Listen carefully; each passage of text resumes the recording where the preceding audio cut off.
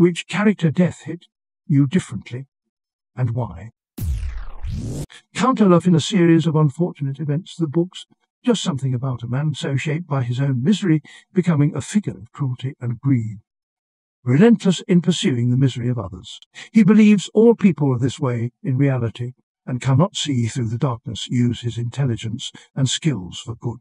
Then he just dies, unredeemed, on a coastal shelf. And no one has anything to say.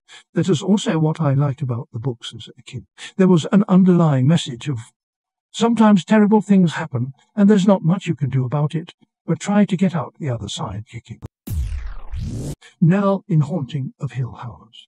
The whole Bent Neck Lady episode and the funeral episode were absolute television masterpieces.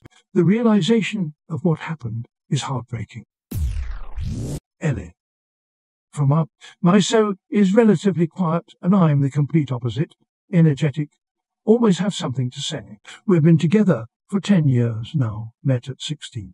I worry that we can't conceive children someday, and that's partly because of a pretty bad miscarriage eight years ago. In turn, I worry about him being lonely and even quieter if I die first.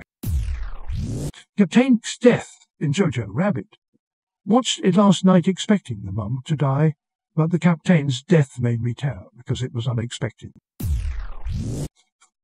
Thomas, from my job. When Vada is crying his funeral, screaming about his glasses. It's diff- gets me every time. The Princess Shireen. I had to take a break from Game of Thrones after that one. When Lee died in The Walking Dead game, the shit made me cry. Boxer from Animal Farm. He worked so hard his whole life, and to be sent to a glue farm while his best friend screams and runs behind him. Chills, man. Washburne in Serenity. He was my favourite character from Firefly, and I just wasn't expecting it at that point in the movie. Legion. Mithri. That is heartbreaking. More if you choose to kill him.